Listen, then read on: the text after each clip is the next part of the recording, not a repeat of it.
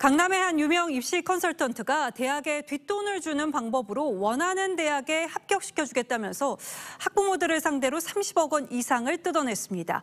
의대는 최대 11억 원을 부르기도 했는데요. 검찰이 구속영장을 청구했습니다. 주원진 기자의 단독 보도입니다. 서울 대치동의 유명 학원 입시 컨설턴트였던 최모 씨는 의치대 입시 설명회로 유명세를 탔습니다. 최 씨는 입시 설명회 등에서 알게 된 학부모들에게 내가 아는 채널을 통해 학교에 기부금을 내면 의대 합격도 가능하다고 회유했습니다.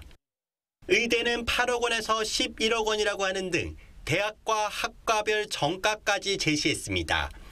이런 방법으로 최 씨는 2020년 9월부터 2년간 3명의 학부모로부터 총 32억 9천만 원을 받았습니다.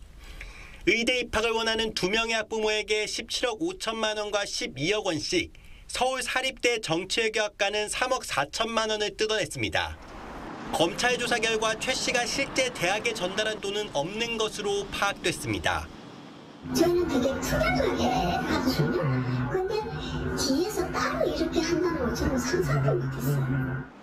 최 씨는 검찰 조사에서 돈은 주식과 도박, 유흥비로 대부분 탕진했다며 사기예금 부풀려진 부분이 있다고 주장한 것으로 알려졌습니다. 검찰이 사기 혐의로 구속영장을 청구한 최 씨에 대한 법원의 심사는 오는 16일 열립니다. TV조선 주원진입니다.